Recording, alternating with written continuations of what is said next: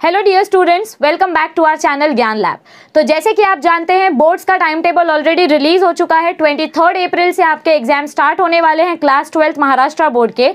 तो जल्दी जल्दी सिलेबस कंप्लीट करने के लिए हम पूरी तरीके से ट्राई करेंगे। थोड़ा सा बिज़ी स्केड्यूल होने की वजह से हम वीडियोज़ ज़्यादा प्रोड्यूस नहीं कर पा रहे हैं, ज़्यादा डेवलप नहीं कर पा रहे हैं।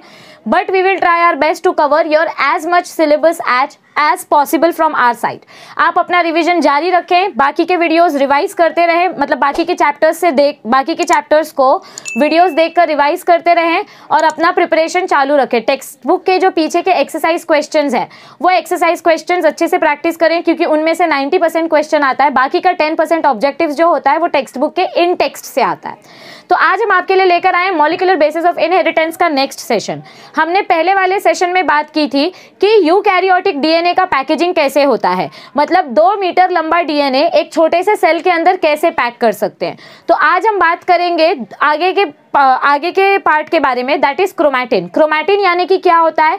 कंडेंस्ड क्रोमोजोम मतलब जब सेल डिवीज़न होता है सेल डिवीज़न के टाइम पे क्या होता है? समझो ऐसा कोई सेल है और इस सेल के अंदर आपका न्यूक्लियस है। न्यूक्लियस के अंदर डीएनए है।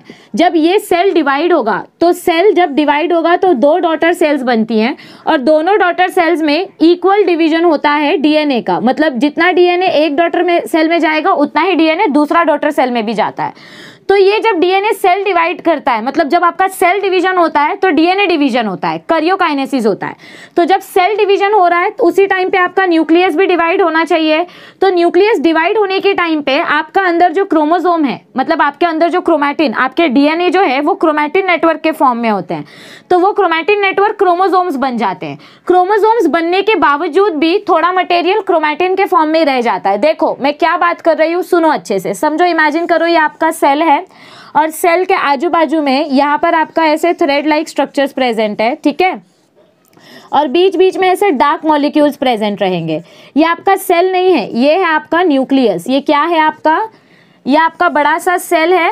ये मैं इस साइड का डायग्राम रब कर देती हूँ। ध्यान से देखो, मैं आपको यू क्रोमैटिन और हेट्रोक्रोमैटिन के बारे में बताने जा रही हूँ। ये आपका सेल है और ये ये है हमारा न्यूक्लियस ये हमारा क्या है? न्यूक्लियस न्यूक्लियस का ये है न्यूक्लियर एनवलप। ये क्या है अपना? Nuclear envelope. मतलब न्यूक्लियस के बाहर का जो मेम्ब्रेन होता है यू कैरियोटिक सेल का न्यूक्लियस डेवलप्ड होता है। उनके न्यूक्लियस के बाहर एक स्पेशल मेम्ब्रेन प्रेजेंट होती है, जिसको हम बोलते हैं न्यूक्लियर एनवलप। क्या बोलते हैं उस मेम्ब्रेन को हम? Nuclear envelope. न्यूक्लियर एनवलप के अंदर आपका न्यूक्लियस का स्ट्रक्चर प्रेजेंट है। यहाँ पर न्यूक्लियोलस होगा इसको हम बोलेंगे न्यूक्लियोलस। क्या बोलेंगे इसको? न्यूक्लियोलस जो राइबोसोम सिंथेसिस में हेल्प करता है। और न्यूक्लियोलस के अलावा जो अंदर थ्रेड लाइक स्ट्रक्चर प्रेजेंट है, देखो आपको थ्रेड लाइक स्ट्रक्चर दिखाई दे रहा है और बीच में डार्क स्पॉट्स दिखाई दे रहे हैं। तो ये डार्क स्पॉट्स और ये थ्रेड लाइक स्ट्रक्चर आखिर है क्या चीज़? ये जो डार्क स्पॉट्स हैं, इनको हम बोलते हैं हेट्रोक्रोमैटिन क्या बोलते हैं इनको हम? हेट्रोक्रोमैटिन और जो लाइट थ्रेड लाइक स्ट्रक्चर्स है, ये पूरी जगह पे ये जो धागा धागा अंदर स्प्रेड हुआ है, इस थ्रेड लाइक स्ट्रक्चर को हम बोलते हैं यू क्रोमैटिन क्या बोलते हैं इसको हम? यू क्रोमैटिन अब सबसे पहली बात तो आपको ये समझना है कि क्रोमैटिन इस वर्ड का मतलब क्या है? What do we mean by the word chromatin तो क्रोमैटिन यानी कि क्रोमोजोम प्लस प्रोटीन क्रोमैटिन मतलब क्या होता है? क्रोमोजोम आपका जो क्रोमोजोम का थ्रेड लाइक स्ट्रक्चर होता है, वो क्रोमोजोम जब प्रोटीन के साथ बाइंड हो जाता है तो उसको हम बोलते हैं क्रोमैटिन क्रोमोजोम प्लस प्रोटीन को हम क्या बोलते हैं? क्रोमैटिन मतलब आपका जो सेल डिवीज़न होने वाला है, आपका सेल जब डिवाइड होने वाला है तो उसके अंदर का डीएनए जो है, वो डीएनए भी डिवाइड होगा, क्योंकि सेल डिवाइड होगा तो सेल के अंदर का मटेरियल भी डिवाइड होगा। तो मटेरियल डिवाइड होने से पहले वो क्रोमोजोम्स बनाता है। तो क्रोमोजोम्स बनने के बाद भी थोड़ा सा क्रोमोजोम थ्रेड के स्ट्रक्चर में प्रेजेंट रहता है।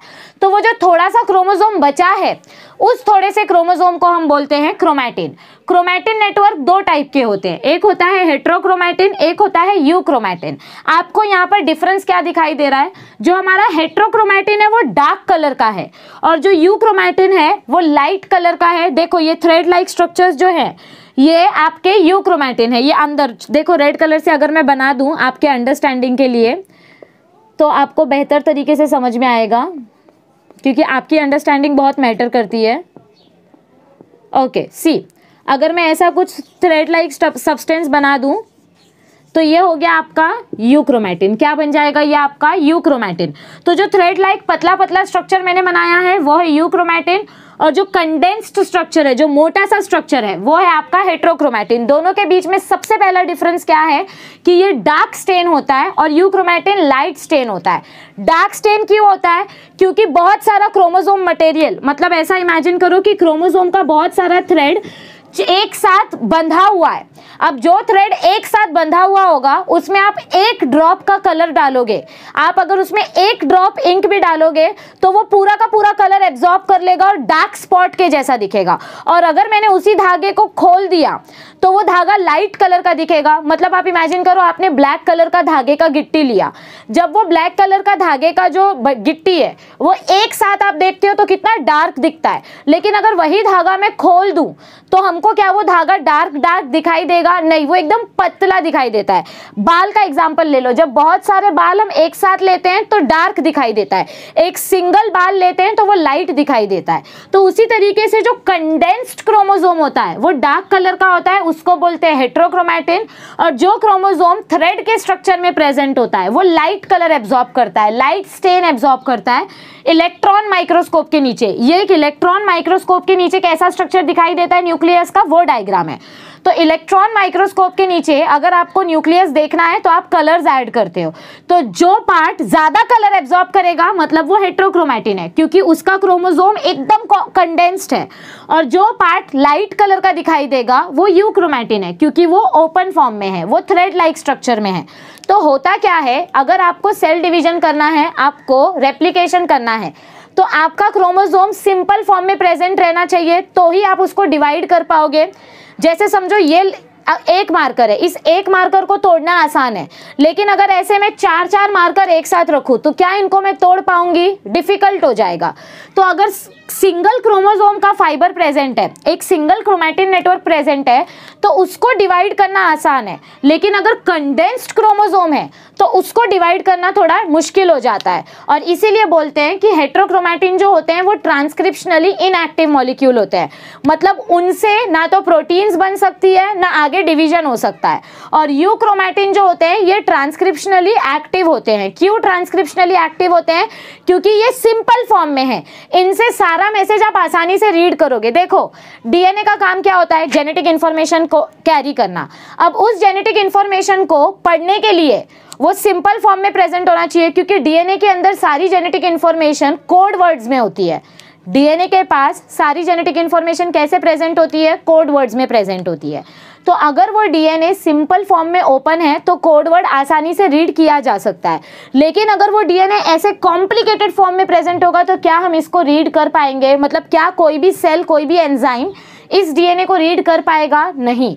तो हेट्रोक्रोमैटिन जो कंडेंस्ड होते हैं they are transcriptionally inactive euchromatin जो लाइट होते हैं, जो थ्रेड लाइक होते हैं they are transcriptionally active molecule I hope आपको थोड़ा समझ में आया होगा। चलो थ्योरी देख लेते हैं यूक्रोमैटिन और हेट्रोक्रोमैटिन की। तो देखिए यहाँ पर क्या बताया गया है। Heterochromatin in eukaryotic cells some segment of chromonema या उसको क्रोमोजोम आप बोल सकते हो।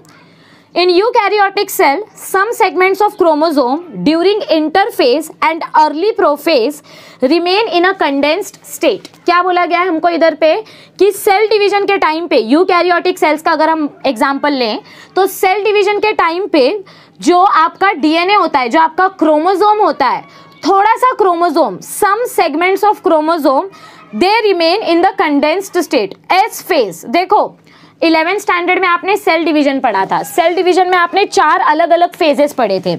पहले आता है जी वन फ़ेज़ फिर आता है एस फ़ेज़ फिर आता है जी टू फ़ेज़ और फिर आता है एम फ़ेज़ एम फ़ेज़ यानी कि माइटोसिस जिसमें prophase metaphase anaphase telophase होता है।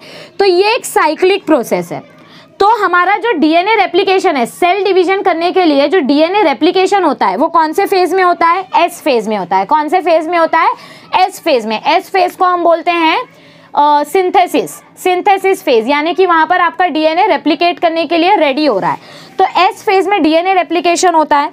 डीएनए रेप्लिकेट करते वक्त थोड़ा सा डीएनए पीछे छूट जाता है। जब डीएनए रेप्लिकेशन होता है ना तो थोड़ा सा डीएनए पीछे छूट जाता है। अब वो डीएनए अगर कंडेंस्ड फॉर्म में है तो उसको हेट्रोक्रोमैटिन बोलेंगे, और अगर वो लूज फॉर्म में है तो उसको यूक्रोमैटिन बोलेंगे। देखो क्या बताया है। In eukaryotic cells some segments of chromosome remain in a condensed state condensed state मतलब ऐसा।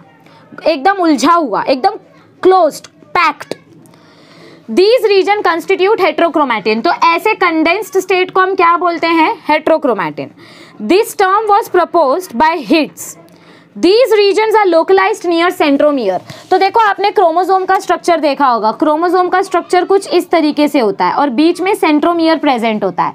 तो सेंट्रोमियर भी आखिर डीएनए से ही बना है ना? मतलब ये पूरा का पूरा क्रोमोजोम का स्ट्रक्चर जो है, ये क्रोमैटिन नेटवर्क से ही बना है। लेकिन ये बीच में हमारा क्रोमोजोम इतना डार्क क्यों दिखाई देता है? क्योंकि वहाँ पर हेट्रोक्रोमैटिन प्रेजेंट होते हैं। और बाकी पूरे रीजन में क्या प्रेजेंट होते हैं? यूक्रोमैटिन प्रेजेंट होते हैं। तो सेंट्रोमियर हो या फिर टीलोमियर की अगर हम बात करें तो यहाँ पर क्या प्रेजेंट होता है? हेट्रोक्रोमैटिन होता है। Okay so these regions are localized near centromeres, telomeres, and are also intercalated. मतलब बीच बीच में भी डार्क डार्क कलर के स्पॉट्स प्रेजेंट रहते हैं। It is genetically mostly inactive देखो, आपको वन मार्क के लिए पूछ सकते हैं। Give two difference between heterochromatin and euchromatin तो आप सिंपल भाषा में क्या बोलोगे? Heterochromatin are condensed chromatin euchromatin are thread like structure heterochromatin are transcriptionally inactive क्योंकि कोई भी चीज़ तब काम करेगी जब वो सिंपल फॉर्म में प्रेजेंट हो। किसी भी चीज़ को डिवाइड करने के लिए उसको पहले सिंपल फॉर्म में लाना पड़ता है। अगर ऐसा बंडल प्रेजेंट है तो इसको हम तोड़ नहीं पाएँगे। वैसे ही अगर डीएनए आपका सिंपल फॉर्म में प्रेजेंट है तो आप उसको ब्रेक करके डिवाइड कर सकते हो। लेकिन अगर वो डीएनए कंडेंस्ड फॉर्म में है तो हम उसका डिवीज़न नहीं कर सकते। और इसीलिए बोलते हैं कि उसको रीड करना। जो कंडेंस्ड डीएनए होता है, कोई भी सेल कोई भी एंजाइम उस डीएनए में से इंफॉर्मेशन रीड ही नहीं कर सकती। देखो, आपका फ़ोन है। आपके फ़ोन में अगर आपने एक पासवर्ड लगाया है तो इन्फॉर्मेशन निकालना आसान है। लेकिन अगर आपने हर ऐप में पासवर्ड लगाया है तो फिर किसी को इन्फॉर्मेशन नहीं पता चलेगी आपके फ़ोन की। तो ऐसे में अगर समझो आप खुद अपना पासवर्ड भूल गए तो फ़ोन खराब हो जाएगा। समझ में आ रही है बात? तो वैसे ही अगर सिंगल डीएनए है मतलब सिंगल थ्रेड लाइक स्ट्रक्चर है तो उसको रीड करना आसान है। उसको रीड करके हम प्रोटीन बना लेंगे। ट्रांसक्रिप्शन मतलब क्या होता है? डीएनए से इंफॉर्मेशन लेके प्रोटीन बनाना। तो यूक्रोमैटिन ट्रांसक्रिप्शनली एक्टिव है, क्योंकि यूक्रोमैटिन का डीएनए रीड करके हम प्रोटीन बना सकते हैं। हेट्रोक्रोमैटिन ट्रांसक्रिप्शनली इनएक्टिव है, क्योंकि हेट्रोक्रोमैटिन कंडेंस्ड फॉर्म में प्रेजेंट है, उसको कोई एंजाइम डीकोड नहीं कर सकती, जिसके वजह से पता ही नहीं चलेगा कि इसमें कौन सी इंफॉर्मेशन है, और अगर इंफॉर्मेशन ही पता नहीं चलेगी तो हम प्रोटीन्स नहीं बना पाएँगे।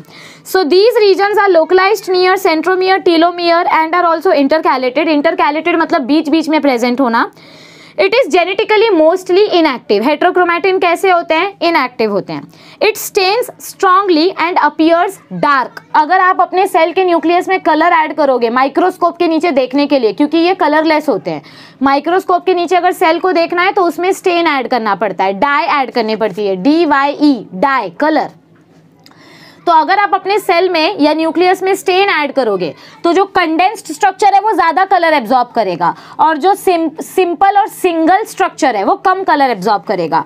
So it stains strongly and it appears dark in microscope heterochromatin is two two three times more rich in DNA than in euchromatin obvious सी बात है ये सिंपल डीएनए है। ये यूक्रोमैटिन का ऐसा सिंपल थ्रेड लाइक स्ट्रक्चर है।